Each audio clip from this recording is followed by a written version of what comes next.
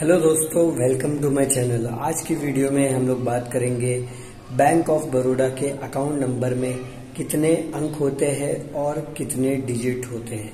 तो बहुत सारे लोगों को पता नहीं है और बहुत सारे लोग कंफ्यूज है, जो लोग जानना चाहते हैं, उन लोगों की रिक्वेस्ट पे मैं ये वीडियो बता बनाया हूँ। दोस्तों, यहाँ पे आपको मैं ये भी बताऊँगा कि आपके बैंक अकाउंट नंबर में कितने डिजिट्स होते हैं, कितने अंक होते हैं, और आपको ये भी बताऊँगा कि आप कहाँ कहाँ चेक कर सकते हैं और कैसे पता कर सकते हैं कि आपके अकाउंट नंबर में कितने अंक होते हैं। तो वीडियो को एंड तक ज़रूर देखना और अगर आप पहली बार मेरे चैनल पर आए हो तो सब्सक्राइब कर लेना। सबसे पहले दोस्तों, आपको बताना चाहता हूँ कि बैंक ऑफ़ बड़ौदा में अकाउंट नंबर में 14 डिजिट होते हैं, यानी 14 अंक होते हैं। और अब बात करेंगे हम लोग कि आप कहाँ कहाँ इसे चेक कर सकते हैं और कैसे चेक कर सकते हैं।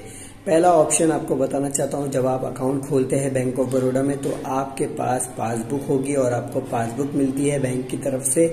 तो वहाँ पे आपको जब ओपन करोगे पासबुक तो वहाँ पे आपको लिखा हुआ दिख जाएगा अकाउंट नंबर, उसके बाजू में जो अंक होंगे। वही आपका होता है अकाउंट नंबर तो आपको काउंट कर लेना है। सेकेंड ऑप्शन दोस्तों ये है कि आप अपने बैंक के कस्टमर केयर को कॉल करके कांटेक्ट करके वहाँ से भी पता कर सकते हैं कि आपका अकाउंट नंबर कितने अंकों का है, कितने डिजिट्स के होते हैं।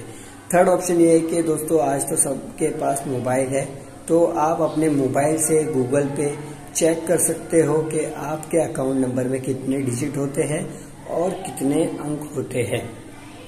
तो दोस्तों, उम्मीद करता हूँ आपको समझ में आ गया है कि बैंक ऑफ़ बड़ौदा में अकाउंट नंबर में कितने डिजिट होते हैं और कितने अंक होते हैं। और ये भी आपको मैंने बता दिया हूँ कहाँ कहाँ से, कैसे कैसे आप चेक कर सकते हैं।